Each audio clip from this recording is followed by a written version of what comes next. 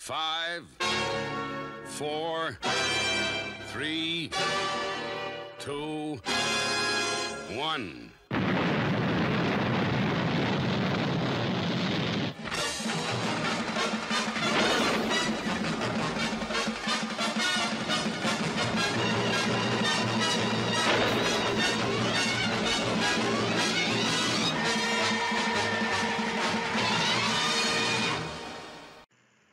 Hello, humans. It's Retro Rocketman here again, and today I'm going to tackle painting and customizing a wriggling hand.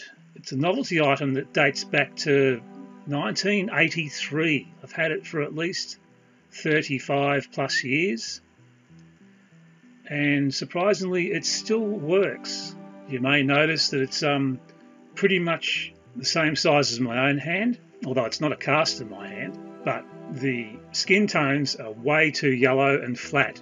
I'm going to have a go at repainting the skin, repainting the hand to make it um, look more realistic. It does have these nasty seam lines from when it was made.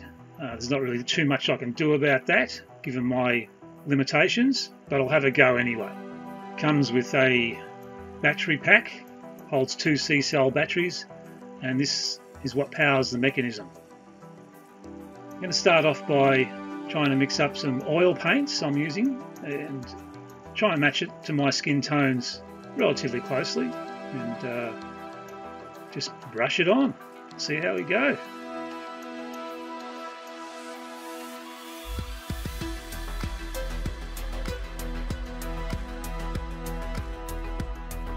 Brushing, brushing, just working it in, working it all over the surface. Anybody's skin tones often has different, lots of different imperfections in the skin, and uh, the oil paint, although it looks quite glossy, even quite shiny at the moment, it will dull as it dries. Just work that paint into the surface, all over, brushing it in, smoothing it out, and letting it dry.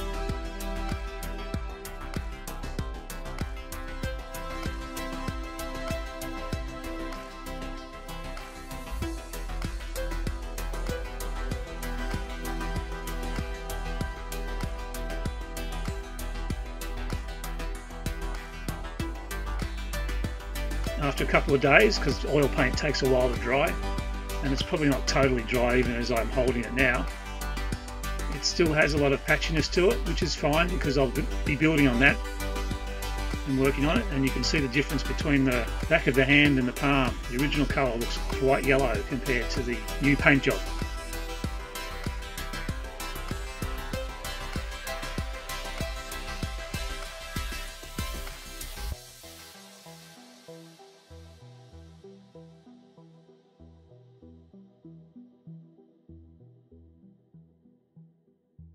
And by changing up the colour, making it a bit deeper in the reds, I'm just stippling it onto certain pressure points on the on the hand to show the uh, different colours that we all have on our skin. And again, just brushing, brushing, building on layers till you get it to an acceptable level.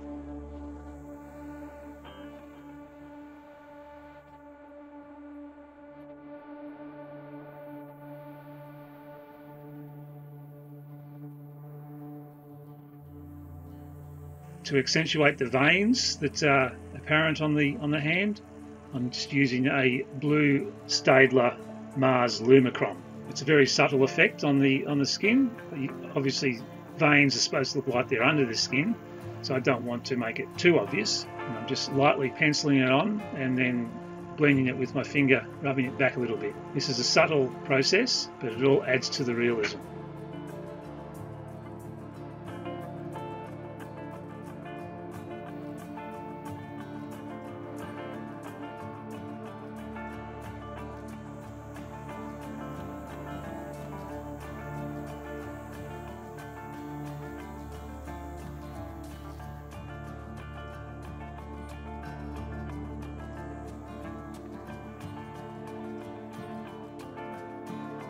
I'm repeating the same process on the palm, just some subtle veins running underneath the surface of the skin.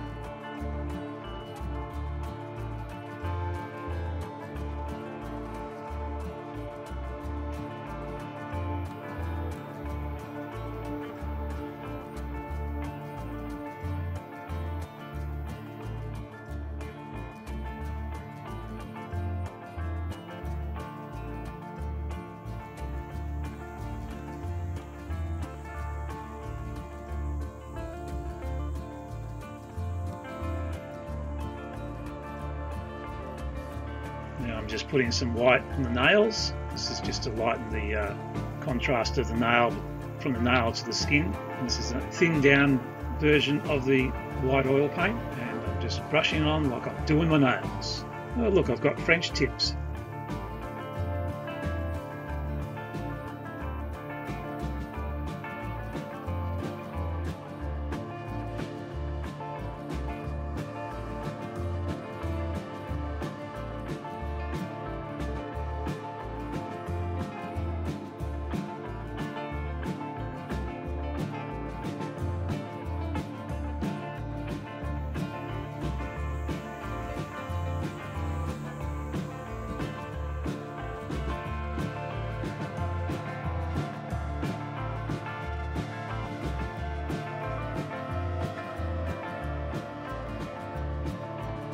Now I'm punching some hair into the back of the hand to add to the realism.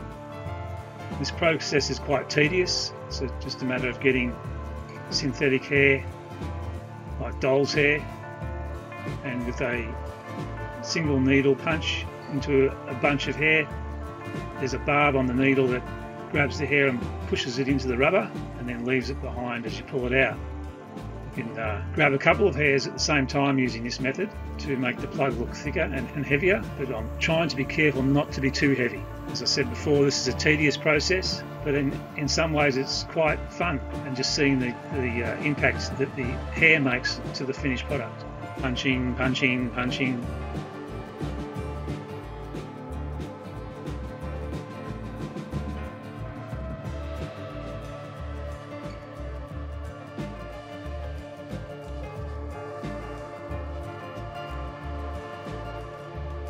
sped it up to show you in time lapse how it just gradually builds and builds and um, obviously different people have different amounts of hair on the back of their hand. I myself have hands like a werewolf so that's the look I was after.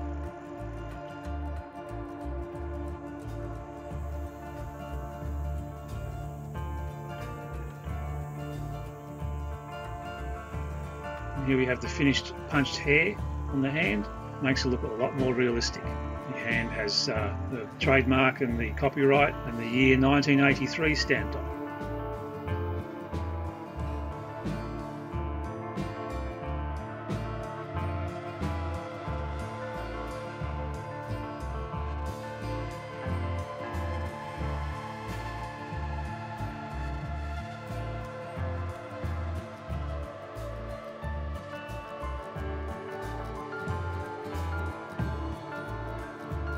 Now I've made a mock-up of a of the exposed wiring and internal workings, if you like, of a cyborg hand, and this is the look I'm going after. And I found an old extension lead plug and just stuffed some wires and tubes into it, just make it look mechanical as opposed to a real organic hand.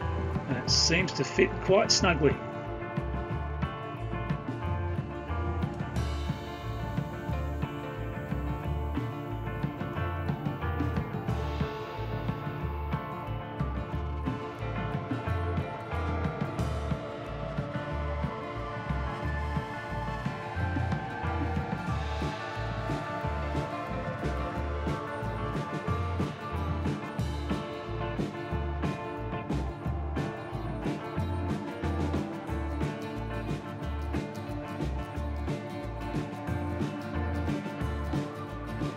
Yes, and after 37 years, it still works.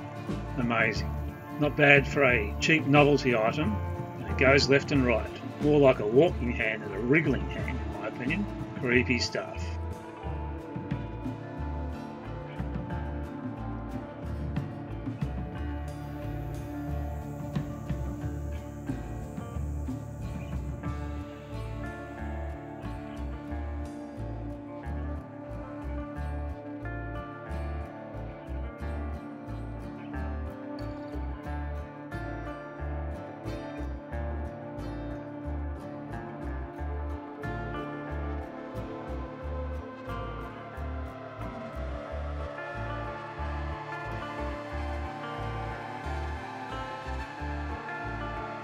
So there you have it, fellow humans. This is my customization of a wriggling hand into the hand of a cyborg. I'm quite happy with the way this one turned out. I say that every time. It um, does look kind of creepy.